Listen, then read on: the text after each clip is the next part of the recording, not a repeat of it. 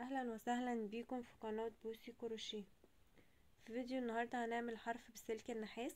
كل اللي إحنا هنجيبه هنجيب سلك نحاس. وهندور القطعة الأولانية.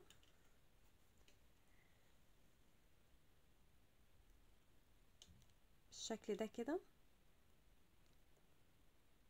ندورها على بعض بالحجم اللي انت عاوزاه. ممكن تعمليها صغير وممكن تعمليها كبيرة. على حسب الحجم اللي انت عاوزاه. بعد كده بن... بنفرد السلك النحاس وبنقص قطعة سلك نحاس بالطول اللي إحنا عايزينه. اللي إحنا عايزين نشكل بيه الحرف أنا هقص قطعة حوالي خمسة وعشرين سنتي. وهجيب إبرة مقاس خمسة.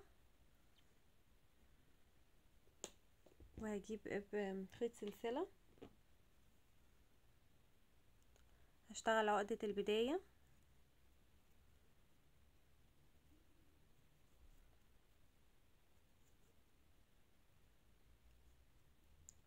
هاجي هنا عند الخيط من تحت اللي أنا عملت فيها الدايرة اللي الدايرة دي ما تخليش الخيط يفك. وهشتغل على السلك النحاس ده. بغرز الحشو كلها. دلوقتي هرتفع سلسلة وهشتغل غرز حشو على سلك النحاس.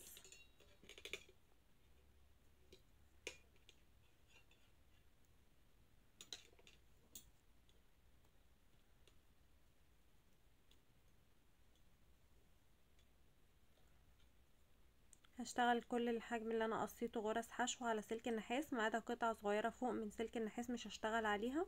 دي اللي هقفل بيها الشغل.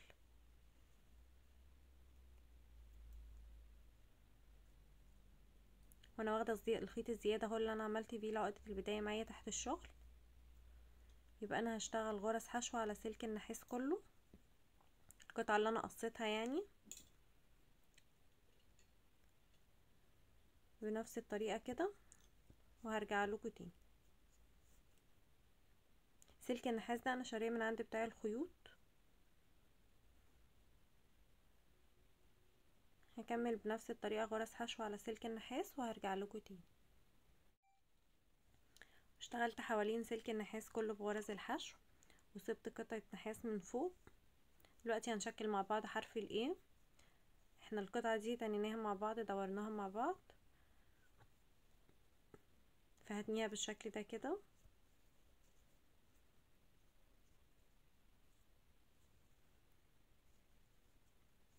بعد كده هعمل قطعة قدها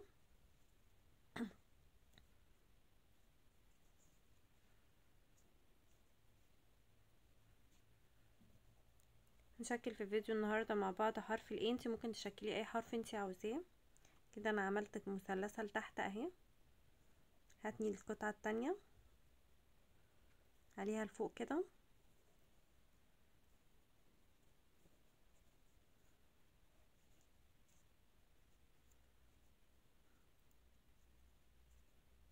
وهجيبها عليها من فوق بالشكل ده كده.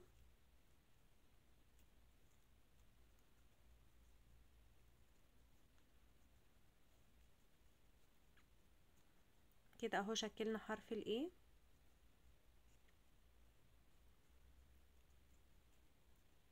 دلوقتي القطعة اللي إحنا سيبناها ممكن ندورها بالشكل ده كده.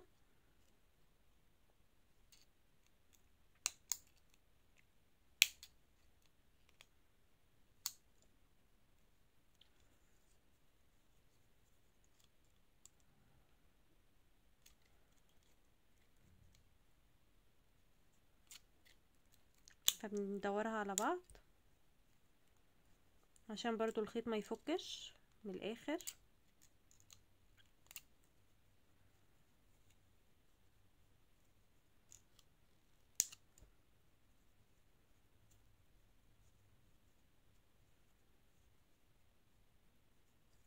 طبعا الخيط الزيادة ده بدخله جوه الشغل من جوه.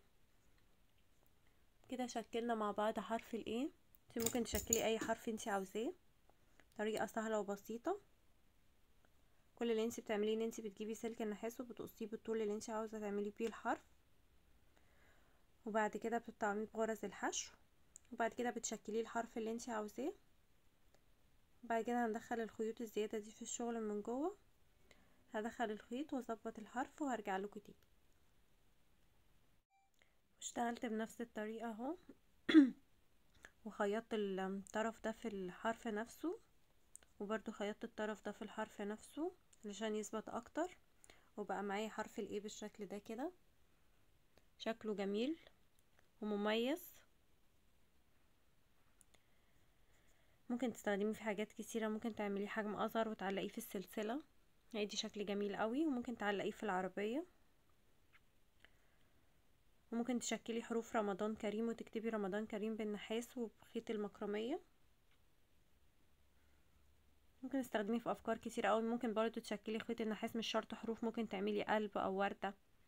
بنفس الطريقة كده إن انتي بتطعمي سلك النحاس بغرز الحشو بعد كده بتشكليه الحاجة اللي انتي عاوزاها أو الشكل اللي انتي عاوزاه. أنا هنا شكلت حرف الايه إنما انتي ممكن تشكلي الحرف اللي انتي عايزاه أكنك بتكتبيه. هيكون معانا بالطريقة دي كده. لو عجبكم الفيديو أو استفدتم منه اعملوا like و share واشتراك في القناة.